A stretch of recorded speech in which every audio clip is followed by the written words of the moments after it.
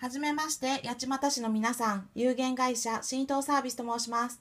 今回、弊社が開発しました、防走シート一体型人工芝を紹介します。防走シートと人工芝が一緒になったことで、施工への手間が一気に省けるようになりました。詳しくはホームページ、しばんちゅ .jp をご覧ください。どうぞよろしくお願いします。